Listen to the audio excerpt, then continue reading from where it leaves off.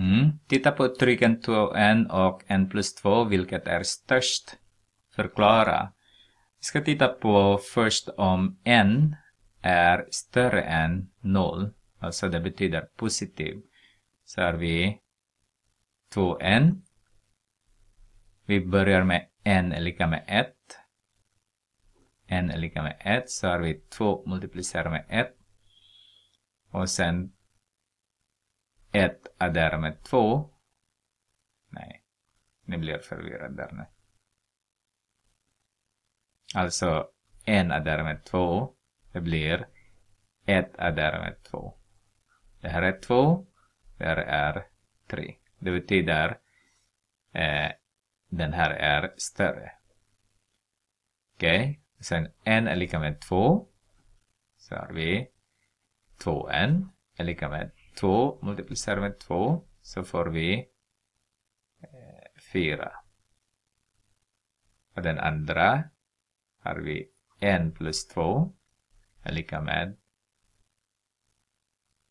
2 plus 2 är lika med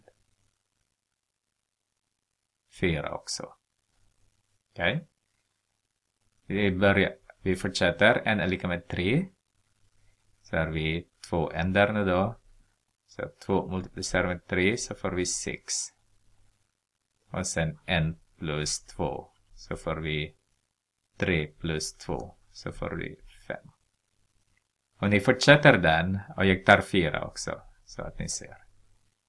Så har vi 2n är lika med 4. Den är 2 multiplicerar med 4 så får jag 8. Och sen 1 plus 2 så blir det 4 plus 2 lika med 6. Så ser ni att det blir större. De är lika här. Och sen den här blir större och större. Okej. Okay. Så. 2n är större när n är större än de är lika ju i två. Så större än, lika, äh, större än två. Så den där blir större. Okej. Okay. Mm. Ska vi titta på när n är lika med 0. Så har vi 2n. Och det är det 0. Och sen n plus 2. Då är det lika med så den här är större. Ska vi titta när n är lika med negativ 1. Så har vi negativ, äh, 2 multiplicerar med negativ 1. Så får vi negativ 2.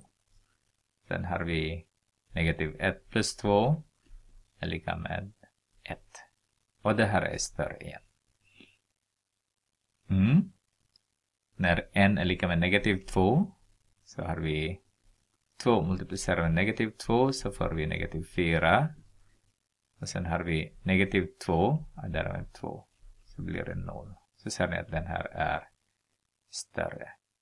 Så, så kan du se nu, vi kan vi se nu, de är lika när det är n är lika med 2, de är lika där hela tiden.